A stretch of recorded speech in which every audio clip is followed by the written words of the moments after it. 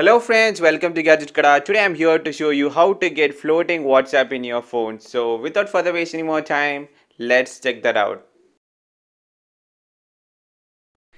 Okay guys, to get started, Xiaomi with the latest MIUI 12 update, they have introduced the latest feature called the global free window, the global resizable window. So with this, you can make any app floating.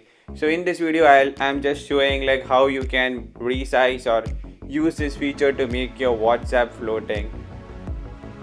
Nowadays, the display size of the phone is getting bigger and bigger. Most of the phones you have is like 6.4 inch or 6.5 inch display.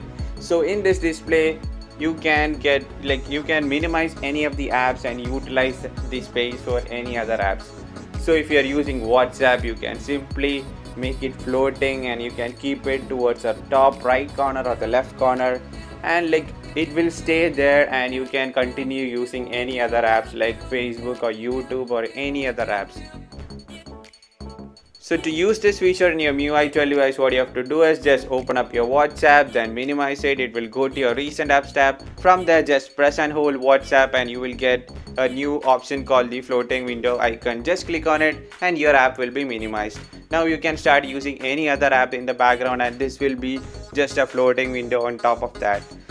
So you can also minimize the screen size. To minimize the screen size, you can make use of the gestures. You can simply swipe from the left end to move it to the left and minimize the size and you can move it to the right by just swiping from the left end.